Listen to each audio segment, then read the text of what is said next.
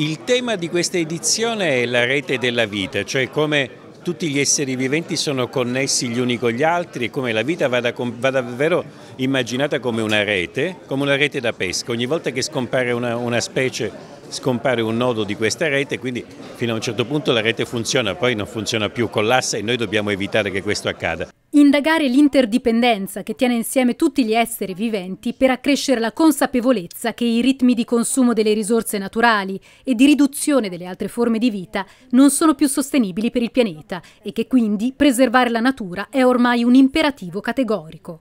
Questo è il filo conduttore della seconda edizione di Pianeta Terra Festival, la rassegna dedicata all'ambiente e alla sostenibilità, organizzata da Editori La Terza con la direzione scientifica di Stefano Mancuso e promossa dalla Fondazione Cassa di Risparmio di Lucca. Dal 5 all'8 ottobre la città tornerà a tingersi di verde, con oltre 70 incontri, lezioni, spettacoli e ospiti di altissimo livello del panorama nazionale e internazionale. Tra i nomi già confermati Peter Wadams, tra i massimi esperti di ghiaccio marino e oceani polari, Yadvinder Mali, docente di scienze degli ecosistemi all'Università di Oxford, Chiara Pavan, chef stellata tra le prime a realizzare la cucina ambientale in Italia. Scienziati, economisti, filosofi e innovatori offriranno il proprio contributo per far conoscere a fondo i problemi del presente, al fine di individuare e proporre le strade per un futuro più sostenibile. Ci auguriamo che veramente queste giornate servano a far sì che in chi lo frequenterà salga l'attenzione per i problemi sulla transizione ecologica e